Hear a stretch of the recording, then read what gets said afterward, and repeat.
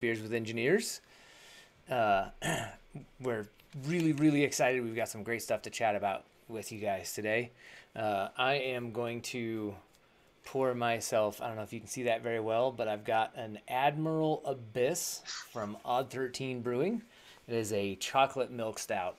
They're a little local Colorado brewery that has awesome artwork on their cans and really good beer too. So that's what I'm doing. Will, what are you pouring there? I have a Joanne IPA from a uh, local brewery called Browns in the uh, Troy, New York area. Nice. Well, so we do have to start off with, and I'll let you kind of run from there, but we'll start off with, you know, the good old safe harbor notice, right? Some of the stuff we're going to talk about here today is not yet released. You know, don't make any stock purchasing decisions around anything that we have to say.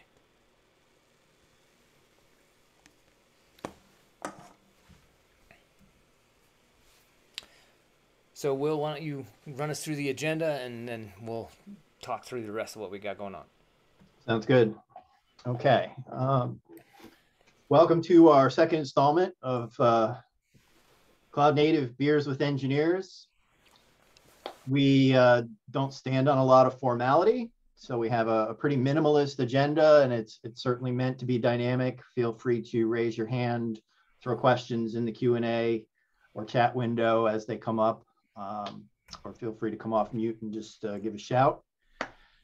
So why are we here?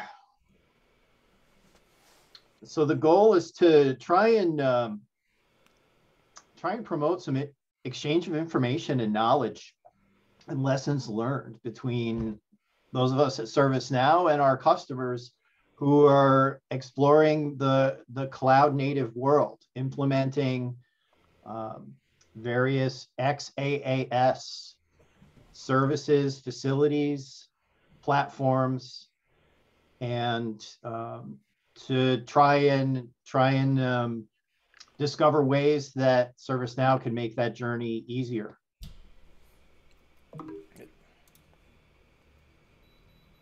Who are we? Yeah. So, Mike Gallagher, uh, I'm an advisory solution architect on the uh, America's West um, ITX commercial team. Uh, been in IT for 25 plus years. I've done everything under the sun. Uh, if it's got ones and zeros in it, I've probably sort of had a hand in it at some point. Um, I uh, love what I do. Um, I love talking about technology and using technology to solve business problems. Um, I love helping customers um, solve problems, right? and and just kind of side note a little bit about me. Um, I've got a wonderful wife and four amazing kids, so uh, never a dull moment around my house. Um, I train Brazilian Jiu Jitsu, and uh, I play a lot of board games, not only with my family but also with my friends. I'm Will Hallam. I'm an advisory solution architect for ITOM in the commercial uh, vertical. I've been in technology for more years than I can count and working primarily in IT infrastructure, started as uh, kind of an early on Unix person and then just branched into all kinds of variations of IT infrastructure, systems engineering, most recently doing a lot of things in the cloud, uh, especially automating a lot of repetitive cloud related tasks via via ServiceNow. And in my spare time, I like to hang out with my family, uh, play a little hockey now and again, and uh, probably way too much time on video games.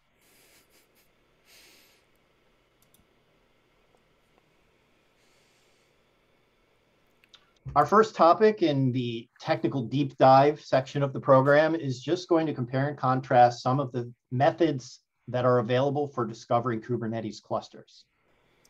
And there's three primary methods. One is to use our out of the box discovery patterns, which have been available for several releases now. And they can communicate with the API endpoint for any Kubernetes control plane, whether that's sitting in a cloud, um, roll your own, if it's a minikube running on, you know, a, a Raspberry Pi under your desk, um, we can talk to it with with the uh, these discovery patterns. The second option is something called Cloud Native Operations. Cloud Native Operations is uh, available in the innovation lab of our store. It's going GA later this year. And what that does is that actually creates uh, a couple sidecar containers in your Kubernetes cluster, which contain our agent client collector and a mid server. And those two containers push both uh, visibility data, the things you would typically get via discovery, as well as various metrics that are available by querying things like Prometheus and Istio into your ServiceNow instance. And then the, the third method is the automated discovery pattern. And what that is, is uh, a new functionality that started rolling out with the current store release of, of patterns, which discovers cloud-based Kubernetes. So if it's discovering a, a, uh, a, Google Cloud, for example, and there are GKE clusters in that cloud account, in that cloud project, the automated discovery pattern will pull in the information about those clusters and automatically create a discovery schedule to discover that cluster for you which if you are looking to have a large scale deployment of a lot of Kubernetes clusters in a cloud account, this can save a lot of time in terms of setting up your discovery credentials and establishing your discovery schedules. Okay, here are the uh, pros and cons for manual discovery patterns. Uh, the, the big pro is it's our most mature solution. It's completely, you know, fully supported, whereas um, the uh, other two solutions are, are newer. The downside is the fact that it requires a one-to-one uh, credential in many cases. Uh, we, we, we are hearing from customers who use a tool such as Rancher to manage their clusters and have found that they can configure a credential at the Rancher level, which can then apply to multiple clusters. But in general, there's a need to have a credential defined for each cluster that you're going to discover. It also requires two separate schedules. The documentation for setting this up instructs you to create a cluster discovery schedule, which runs the Kubernetes cluster pattern. That queries basically every single object inside your Kubernetes cluster. And because that can be um, that that can be not a short running operation in a, a, cluster that's very large. The recommendation is run that a daily, perhaps twice a day.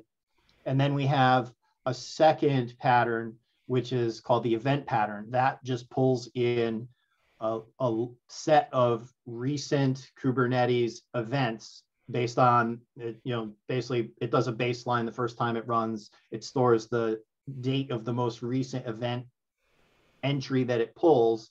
And then when it runs subsequently, it just pulls new events that occurred from that last runtime.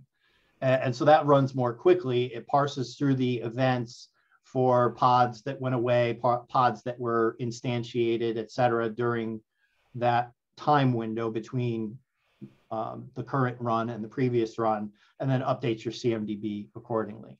But again, it's a bit of a con because if you've got a lot of clusters, you've got to establish those schedules for each cluster. And the, uh, the out of the box pattern supports um, using a containerized mid, a standard mid, and as I mentioned, it, it, can point at any Kubernetes endpoint. So if you've got Kubernetes clusters running in AKS, EKS, GKE, you can point these discovery patterns at those and the pattern will successfully inventory and update your CMDB against those clusters. Bottom line, this will probably discover almost whatever you need to discover, but it doesn't have a lot of bells and whistles. It's, you know, kind of the the baseline configuration and needs a bit of of management and handholding. Great summary, Mike. Cloud native ops so the pros on this are it, it's very easy to deploy. It um, you're provided with a standard manifest that you can apply to a Kubernetes cluster, and Kubernetes just takes it from there. It establishes a mid server and an ACC agent, and those automatically phone home into your instance based on parameters that you pass into the uh, into the deployment. It includes metric ingestion. So in addition to just updating your CMDB, it's feeding metrics in, which you can then use to um, alert responsible parties when something goes out of whack in your cluster. It also enables things like traffic and tag-based service mapping. So it kind of it can provide a, a leg up, a shortcut to establishing service maps against what you've got running in, in Kubernetes. And another big plus, there's no credentials management required because it's a push back into the um, back into your instance via the sidecar mid server. The the cons, it it is coming. GA is coming later this year. It's not yet GA, which just means that um, if you know our, our recommendation is not to run it with you know mission critical workloads because if push comes to shove and you need support on it all the various underpinnings of full production level support are not quite there for it yet. Scaling um, can be scaling's a consideration. If you have 100 clusters running cloud native ops against those 100 clusters would mean you'd have 100 mid servers showing up on your instance.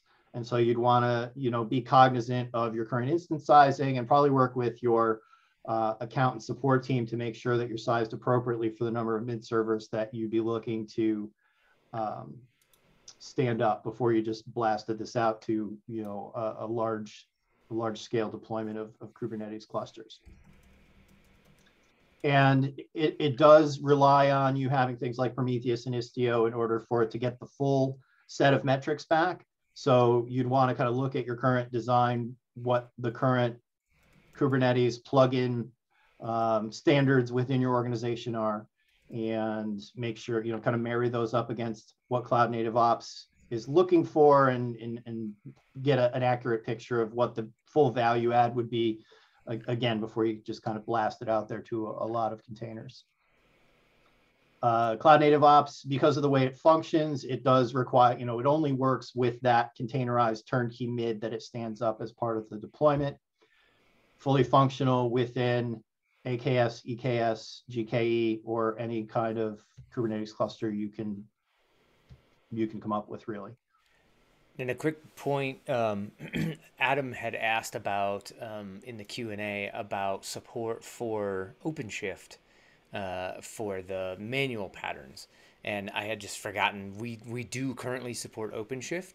And when we put the slide deck together, I just totally forgot that. So I wanted to make sure we called that out um, as part of this as well. So. Yeah, great call, Mike. There is uh, specifically an OpenShift plugin, which does, which is included as part of the out of the box uh, regular Kubernetes pattern, which will look for OpenShift to be present on that cluster endpoint, and if it's there, it can pull in the OpenShift specific items. Automated discovery patterns. So this is a new functionality we've started rolling out with the current store release of the uh, Discovery Patterns app, which is 1.0.89. Um, and what this means is it's kind of a, a synergy between cloud discovery and Kubernetes dis discovery. And so starting with GKE, when a GKE cluster is discovered, this pattern will create a discovery schedule for that cluster.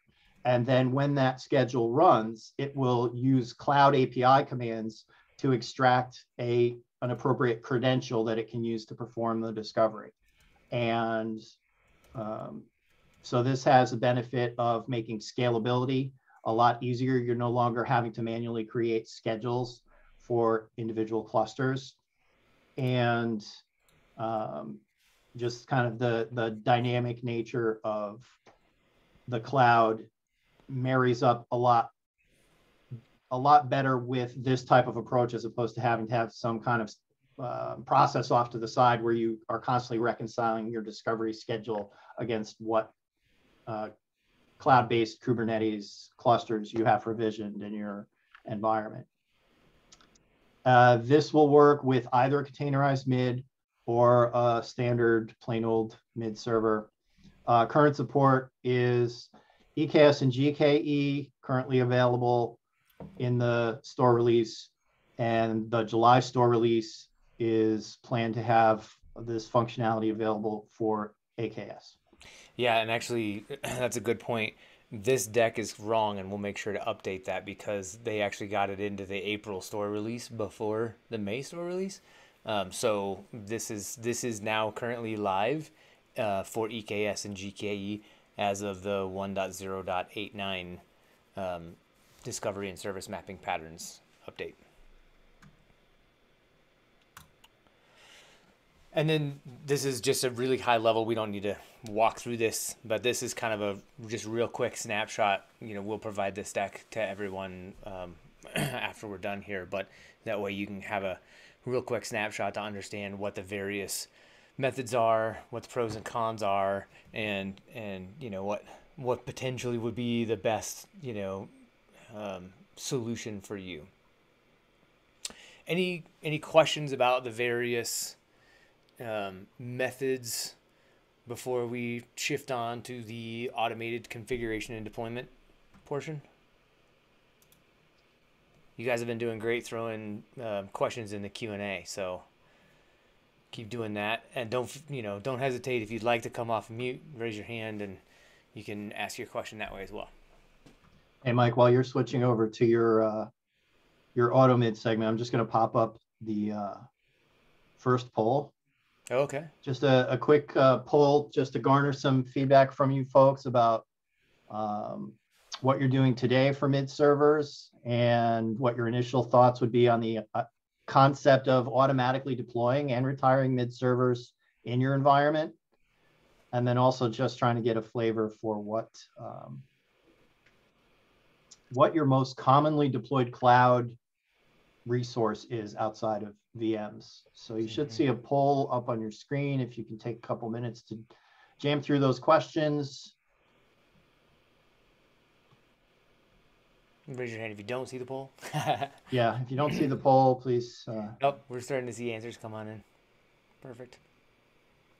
So while you guys are looking through that, I'll talk through a bit on.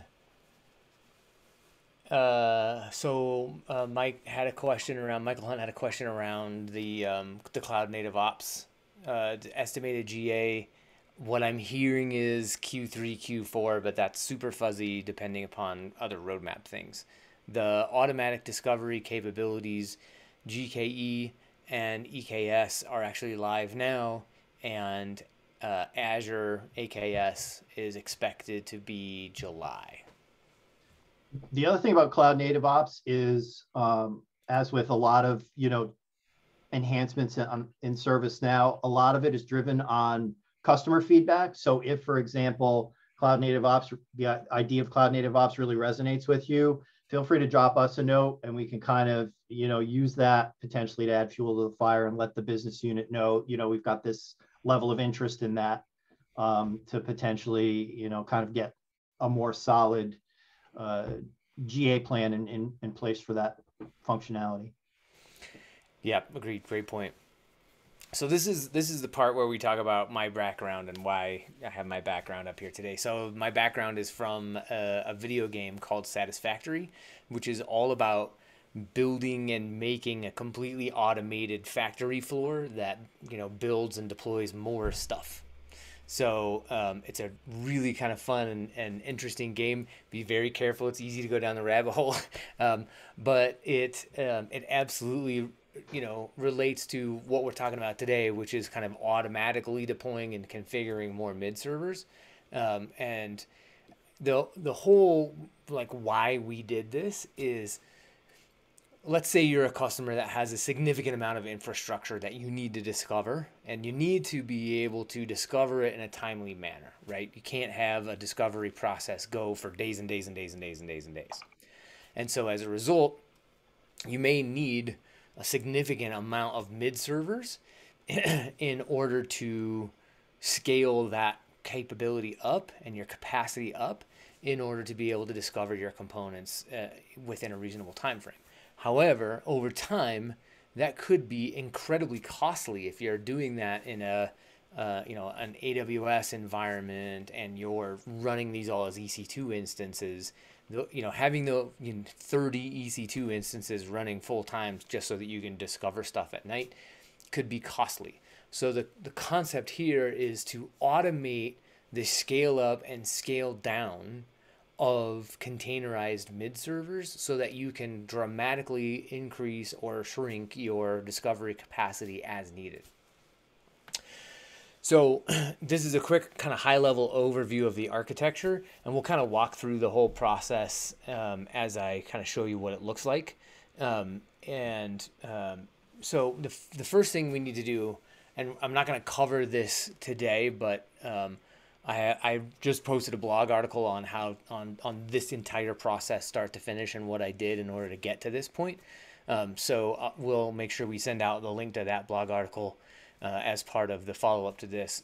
but the first thing you have to do is you have to prepare prepare your instance for TLS TLS based mutual auth, right? Um, which is something that is a little bit of a tweak. And the bottom line, from a customer perspective, you'll just open a support case and say, hey, we need to set up TLS based mutual auth. And the support team will go through and do all the necessary components in order to ensure that's up and working for you. Once you've got that completed, um, you'll go through kind of the the the preparation of the TLS certificate chain, and I'll I'll dive into that, and we'll get more into kind of the how in a minute. But first, I'm going to take a step back and talk about the architecture, right?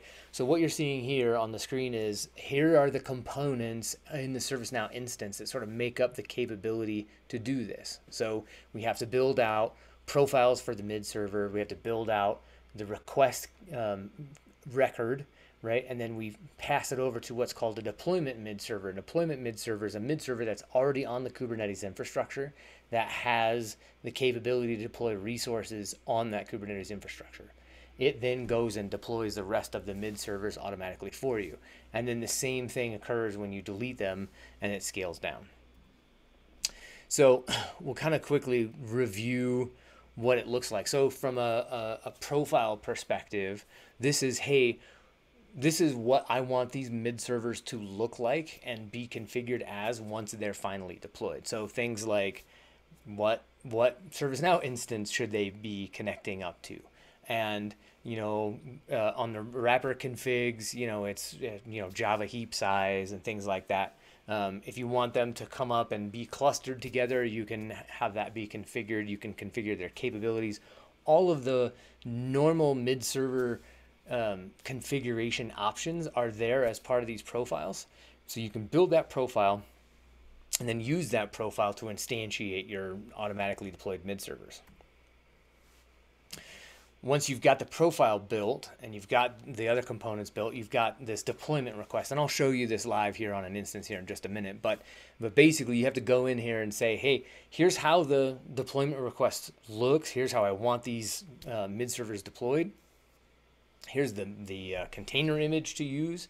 And, and then once you hit submit, that um, once you hit process now, it's sending that off to the the uh, deployment mid server to go get that those mid servers deployed in the Kubernetes infrastructure.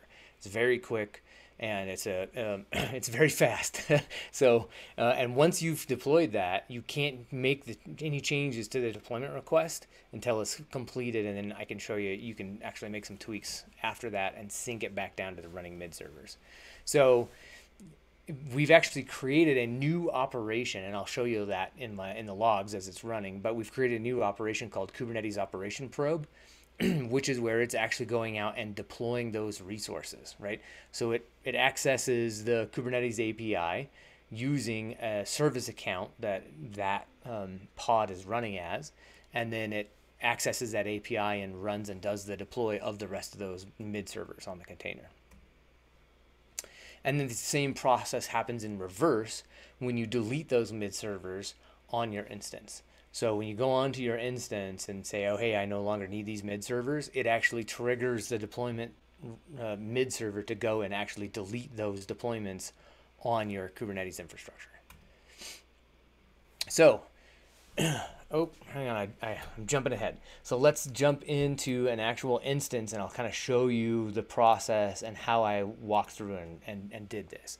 So the first thing I did is I actually, because mid servers, when they come up, you can't give them any commands or do really do anything with them until you validate them on the instance, which is if you're deploying, you know, five or 10 mid servers in the middle of the night so you can scale your discovery process, that's not really all that terribly useful, right? Hopefully your your you know your discovery managers are asleep.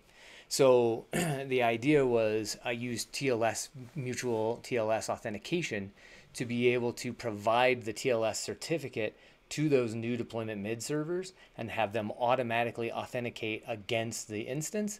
And when they do that, they automatically come up validated and ready to start taking um, ECC requests, essentially. So this is my deployment mid server, this cert mid here. And I'll quickly show you on my terminal um, kind of what the YAML file looks like that I use to deploy that. So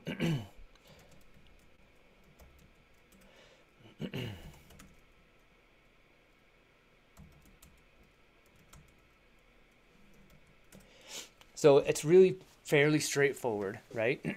I say, hey, I, you know, I'm here's the name I'm going to deploy it. I'm, I'm going to make it part of the mid-server management app, right? I give it what image I want to use and what um, instance to connect to and where to get the PEM file for TLS authentication. And it comes up in this particular case, I'm I, I manually am using the Azure Key Vault store, but on the rest of them using the, just native Kubernetes secrets for the, the PEM certificate. So once I've got that up and deployed, now I've I've gone through and I'm gonna I'm gonna jump back a little bit and show you kind of the TLS certificate preparation what I did in order to get TLS certificate authentication set up was I added in, you have to go in and you have to have the root certificate. If there's an intermediate or an issuing certificate, you have to have that. And those go into this CA certificate chain um, uh, records, right? So when you go in here, the, this was an interesting component. And if you have to go and do this, I, I wanted to call this out because it hopefully will help you kind of sidestep some problems I had. You fill out these records and then you attach the PEM file to the record. And once it's attached, then you submit the record. And this is the important component here this publish status. What happens is once you get the certificate loaded into the instance, the instance is actually fronted by a load balancer that does the TLS termination, and it has to publish that's that root CA certificate into that load balancer so that that load balancer can actually handle those those TLS requests. So you have to wait you in my case because I have a, a, a root certificate and I have an intermediate certificate and then I have my client certificates. I had to wait for the root certificate to publish and become active and then I had to um, upload the intermediate certificate and wait for that to publish and after that, I can go in and I create this user to certificates mapping. So this is where I say, hey, the user that I want to have authenticated as the mid server, right? This is your mid server user that your mid server logs into the um, ServiceNow platform with and executes command as. I need to map that user ID to that client certificate that I'm providing. So again, here you go, new record, right? you give it a name, and you know, kind of a nice mapping. You you select which user to authenticate it to, right? and so in this particular case, um, I just I, I called it cert mid just because I was or cert auth just because I was messing with it, but uh, it's the my my Kubernetes certificate authentication user. and then again, you attach the client certificate just the certificate, not the key. You attach the certificate here, and then once that's done, it's published appropriately and mapped to that user. So once you've got that completed, kind of the next step is to go and build a Kubernetes certificate. And the Kubernetes certificate, the way that you do that eh, excuse me, Kubernetes secret. the way that you do that is you say kubectl secret. Create. Secret generic. And I just said hey I want to call it midcert right? So that is the name of the secret. And then I want to ingest that from a file right? Dash dash from dash file equals and then the file name. So that file needs to include both the certificate and the private key so that the mid server process can use the private key to ingest the certificate into the store within the, the mid server uh, container. It's really, really important. Was a lesson that I learned. so once we've got both of those in the file and in the certificate, you have to remember the name of this file, right? Because the way that it gets mounted into the into the um, container that's running into the pod, it actually gets mounted as your mount path slash the file name that you use to ingest it into that secret. and I'll show you why that's important here in just a minute. Hey, hey Mike, speaking of yeah. mount path, um, Adam put a question in the Q&A asking whether or not you had to pre-create the mount path that you put in the YAML file, or if Kubernetes was taking care of that for you based on yeah, what you put great, in there? Great question. I did not have to pre-create that mount path. That mount path does not exist in the um, in the container image. Kubernetes handles that for you and presents that whole mount path appropriately into the pod.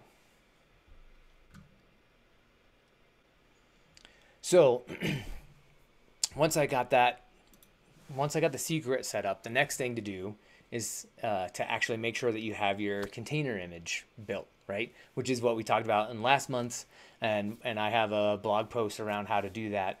Uh, but um, uh, so I won't go back over that today. But needless to say, I built a container image and made sure that it was ready to go, and I published my deployment mid server using that container image and that um, and that YAML file that I just showed you here momentarily, uh, moments ago. Once you've got the deployment mid server up. Now you need to go in and you need to define your profiles for how you want the mid servers to be deployed, right?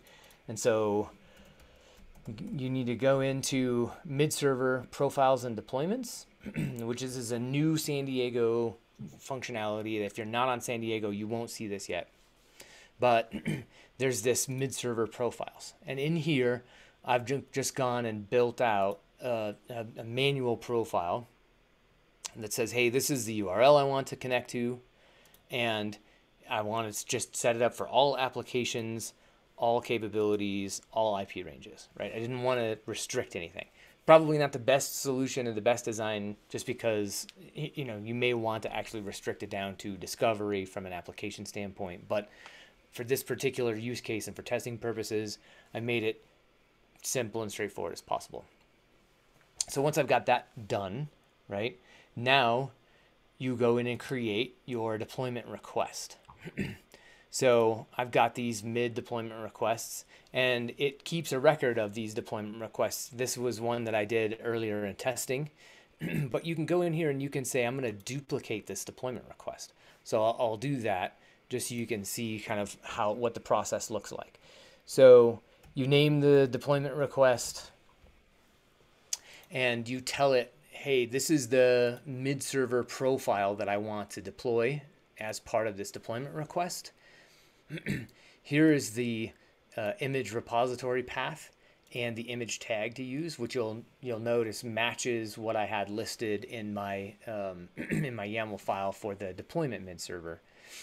And then there's three tabs down here on the bottom that really control how that those mid servers are deployed, right? So there's a the naming convention prefix and then how many of them you want, right? So it's going to actually do an auto naming configuration where it'll it'll iterate through, you know, it starts off with you know mid case 00001 and continues to increment.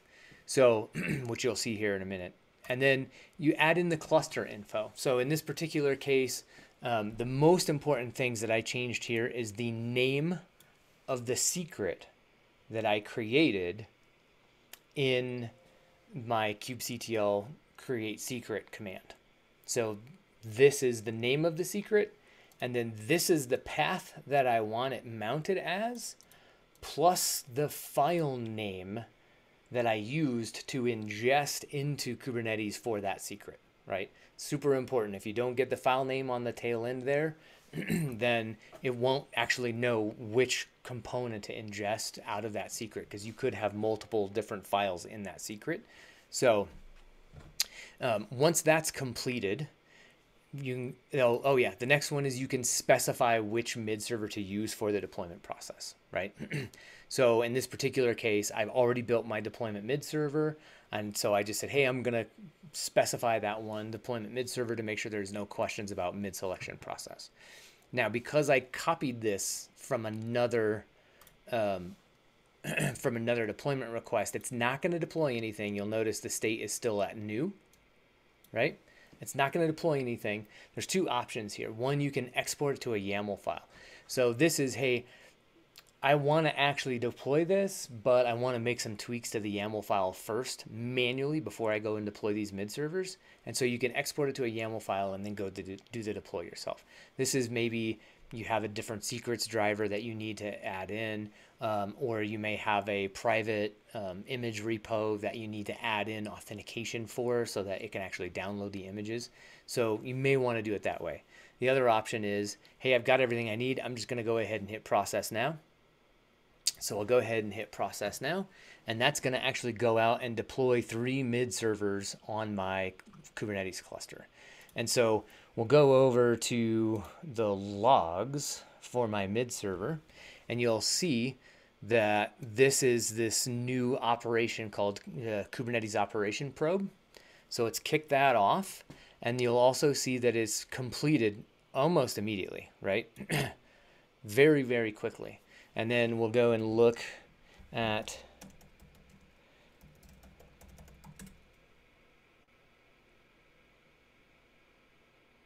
We now have three deployments with three new mid servers that are up and running. And we'll go back to my instance. And you'll notice this has already set this field to complete. If we reload that.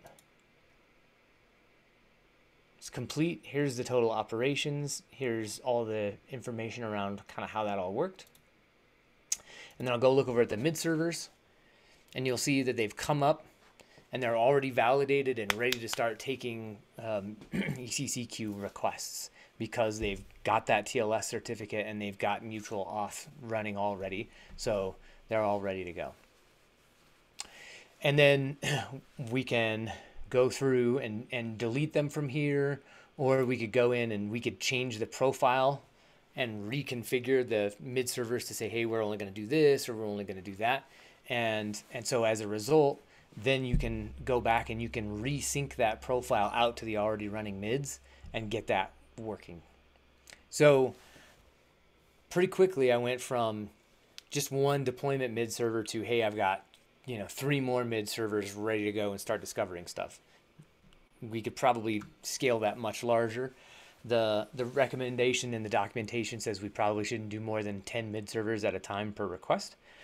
But given how quickly that ran, I'm I'm kind of surprised about that that 10 limitation. So thoughts, questions, anything that's come up while I was running through that demo? Nothing in the chat or the Q and A.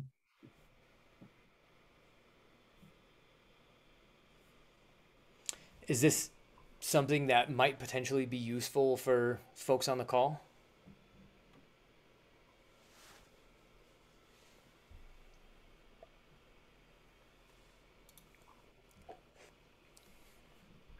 I saw something pop up. Yeah, Adam has a question about what it does under the covers. I think it's creating a deployment. You could probably take a look at the YAML file and see specifically. Yep, I'll show you. So it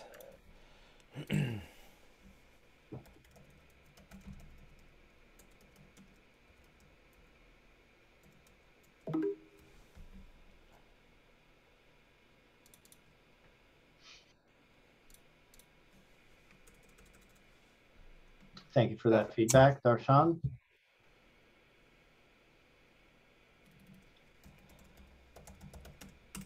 Okay. I appreciate that. There you go.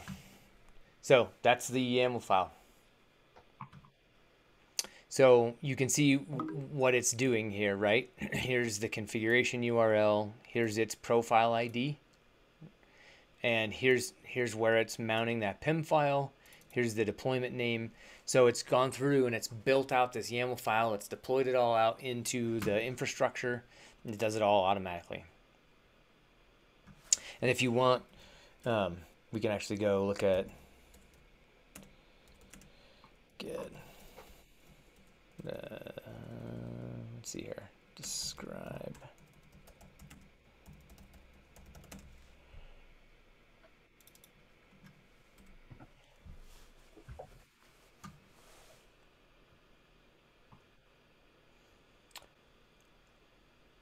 Okay, so a couple of questions coming up here.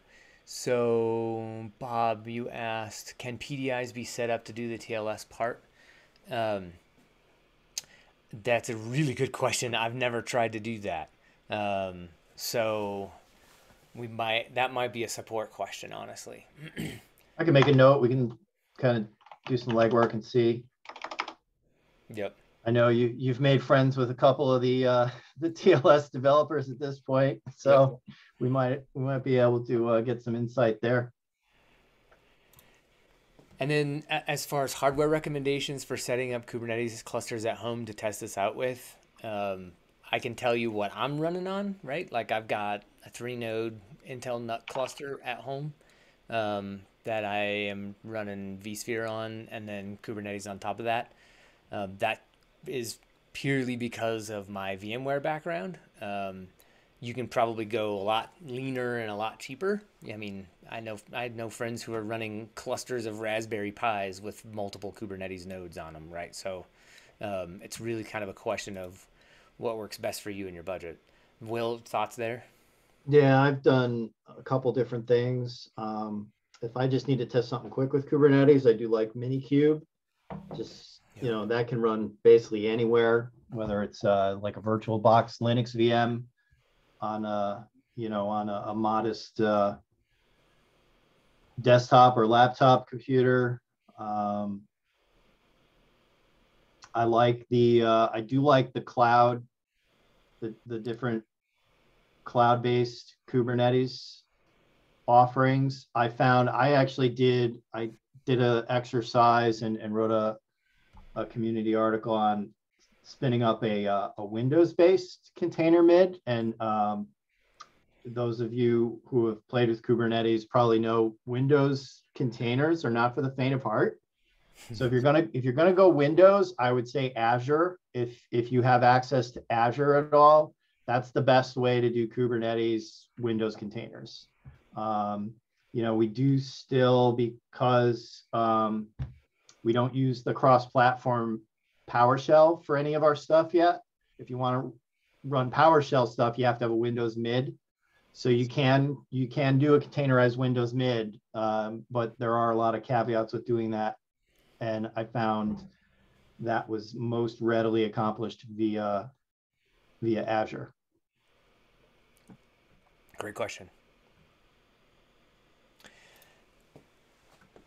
Yeah, Mike's yeah. Mike was doing all Linux mids, but you can and basically everything Mike did, you can do with Windows. I mean, it's really just a function of what uh, image you're selecting, and and I I have built Windows mid images. They are they're pretty big. Hmm. Um, Windows Windows because they, they you know they're based on the Windows the base Windows container image, which is essentially you know a somewhat skinnied down Windows OS image. Um, I don't know of a way like with Linux containers. A lot of times you can strip like everything away. I don't know if that's feasible with Windows, but you can but you can do it, and it. I found it it, it worked fine. So, let's shift gears a little bit and talk about the mid profiler that um, Will made. So one of the things that we came up with was, hey, we have to manually make these profiles. So, Will, why don't you kind of talk about what your goal was and how you went through that? Absolutely. So, when this uh, capability was announced, Mike got all fired up. He's like, "Oh man, I'm going to dig into this. I'm going to, you know, set this up. We'll do an article. We'll do a session." Um, I was looking at the instructions and and I realized that there's a lot of um, there's a lot of tabs on that Windows profile screen, and if you've got to do that multiple times, that that could get a little tedious and then because I, you know, if I have to do something more than two, three times by hand, I generally, my, my mind just kind of gravitates towards, hey, could we automate this? It turns out we can. So the way I did it was um, just went into Studio, I created a scoped app, and then I built some stuff using Flow Designer. And because I did it as a scoped app, it was really easy to pop it out into uh, a Git repo. And so the links to that, as well as the community article that I wrote on um, on how I put the the different flows together, will be available in this deck. They're on this slide, and and as Mike said, we'll send out a, a copy of this deck to all the attendees today, so you can you can go and check that out. It's um, you know it's it's it's meant to be an example, but it, it's pretty solid. Um, just kind of give you a little bit of a look at it here. Let me stop sharing and you can share. Yeah, I'll grab the share here.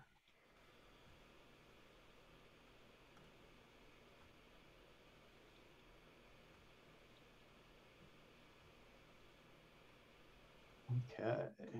Um, so here's the Git repo. Um, again, if you haven't used Studio, it's a really great way to encapsulate, you know, a piece of work that you're doing in the platform. And then as an added benefit, you can pop it into a Git repo and that get, you know, as long as you're um, fastidious about pushing out your commits, you can, you know, really kind of, it gives you that ability to rewind in case you updated some stuff in Studio that you didn't mean to update, deleted a bunch of things or, or what have you. So I chose to do this using uh, a fairly low code approach. Um, I did a little bit of legwork. So one of the things that I looked at was, okay, what's going on under the covers as we're managing these, these mid profiles? And it led me to this script include called mid server profile. And this contains a bunch of JavaScript utility functions that are running under the behind the scenes. And they are what does the work when you say, hey, I want to spin up a mid based on this profile. They basically copy a bunch of records from the profile tables into the mid server tables.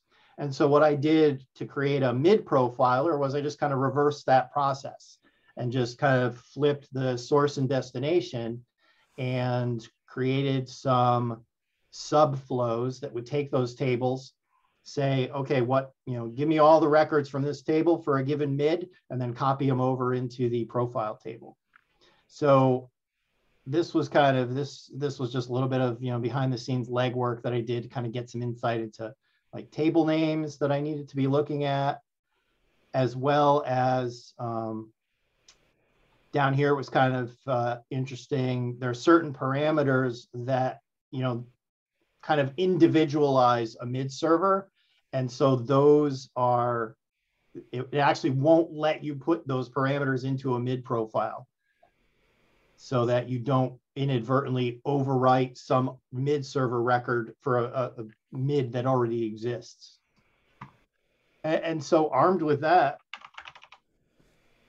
I just went into studio. And just created this little uh, created this little app, which has basically got a bunch of flows.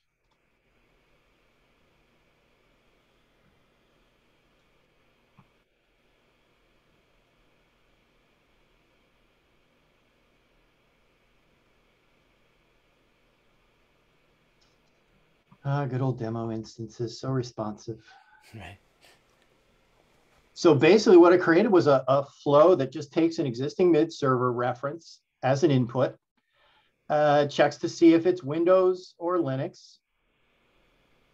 If it's Win, because there is one, uh, most of the information about mid server is stored in your instance, but there's one piece that isn't, which is the wrapper override config. And that's where you put things like if you want to increase your Java heap size, you put those in the, you put that kind of thing in the wrapper override config. And I wanted to capture that as well. So I just built a couple steps, uh, a couple actions one is a PowerShell action that pulls that file, the contents of that override file from a Windows mid, and then one is an SSH action that pulls the contents of that file from a Linux mid, and then pulls it into a flow variable. Then I fed that into another action that basically parses that and generates records inside the corresponding uh, Windows, um, excuse me, mid profile subtable, if you will. And, and then for each of those other tables, I just created a subflow that queries all the records from each table that correspond to the mid that I select that I want to profile and just copies the records from the mid table into the mid profile table. And again, I, I kind of get into a fair amount of detail in the community article and um, the uh, Git repo can be, you'd want to clone that Git repo and then you can create a, a scoped app within your own non-prod instance and pull in, uh, pull in all the code from your copy, your clone of that Git repo. So an example of what that looks like. I'll just put that, um, let's see. I just kind of put a simple catalog item on the front end of it just for demonstration purposes. So all I do is just select a mid.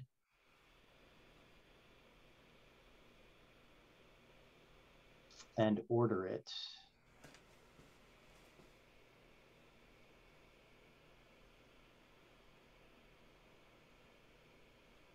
And so we can kind of see the flow running behind the scenes.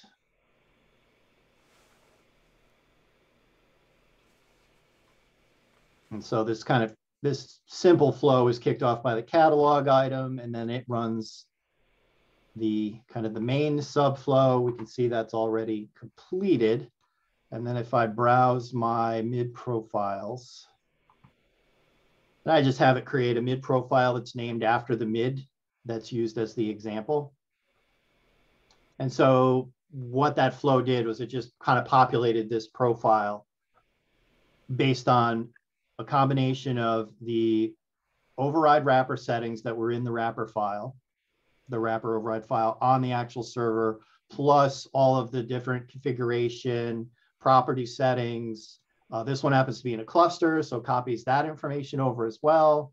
And I did, since I'm demonstrating this, I did pick specific applications that the mid server would select, would uh, support specific capabilities and a specific IP range that I wanted to apply. And it just copies all of that. I mean, at our heart, we're a database. And so it makes this kind of thing very easy. And with, um, with Flow Designer, it's all, um, it, it can be done without having to write any code. Uh, if you wanted to write code, you could certainly, I could have done this probably, to be honest, more quickly with JavaScript because I'm more of a kind of command line coder type person, but I find it's a lot easier to kind of see what's going on by doing it within Flow Designer and exposing kind of those individual steps. Any questions? So we did have one pop up in the Q and A that I left for you because you've messed with the Windows containers way more than I have. Any special requirements for log on as a service user in a Windows containerized mid? Yeah, um, my experience is it took care of that. Um, the Docker recipe that they use to generate the image that includes the requisite. I, I just took the default. I let it create the default user. Um, I didn't have to, um, I did not have to do anything special to kind of add that. Like when I'm, I have experienced that when I'm doing a Windows Server, uh, Windows Mid by hand, I've got to create the user and make sure it's got that log on as a service permission. Um, I did not have to do anything special to get the the containerized Windows mid to do that. And if you haven't seen it, if you look on a Rome or later instance in the mid server downloads, there is a, um, a Linux container recipe and a Windows container recipe. Yeah, that's been available since um, Rome. So the once you get to once you get to at least Rome, you'll have access to those um, Docker recipes, which basically just gives you a Docker file. And um, I'll include a I'll, I'll include the link to the article that I did on on pipelining the uh, and and mm-hmm. Mike has an article on kind of the build process. I did an article on pipelining uh, the mid server um, container image build. And we'll include both of those links in our follow-up email that includes the slide deck. Yeah, it, have... you know, basically gives you an example of, of how to actually kind of take this um, kind of raw material and, and, and turn it into a, a, a container image for a mid server. I've already found the, uh, um, the the pipelining to be an important process because as I was going through and building out this uh, automated mid server deployment process, we actually updated my instance. So the images that I was building off of were now no longer valid for the instance and I had to go through the upgrade process and I didn't want to have to deal with that. So I, I triggered off my pipeline and, and built out the the newer version of the mid server that matched my my new instance and that that helped significantly. Okay, well, we're bumping right up against the top of the hour, and um, Mike and I I think can certainly hang out if there's any um, remaining questions. Also, if you have any additional follow-up questions or uh, suggestions for future sessions, format, etc., different beers you want us to try, whatever, um, feel free to, to email us. Our contact information is, um, you know, will will definitely be available in the, uh, you know, the follow-up email. Um, I did put up a, a, an exit poll if you'd be so kind as to give us some feedback that way as well. That would be great. And um, yeah, if there aren't any other questions, we'll adjourn. We'll give it a couple minutes in case anybody wants to raise their hand or put something in the chat or the QA. Uh, Bob's asking about the GA for cloud native ops. We've heard uh, fairly fuzzy third, fourth quarter. Um, it feels like if customers ask for it loudly, that could accelerate. So um, if you, you know, if you need uh, assistance getting the right channel through which to ask for that vociferously, feel free to reach out to us. Otherwise, you can certainly uh, consult your account team on how to, um, you know, how, how, how to make make ServiceNow aware that you're very interested in, in cloud native ops. I'm going through now and allowing everyone to talk. So if you would like to come off of mute and ask any questions you want, anything related to kind of what we talked about today, you know, don't hesitate. Don't be shy.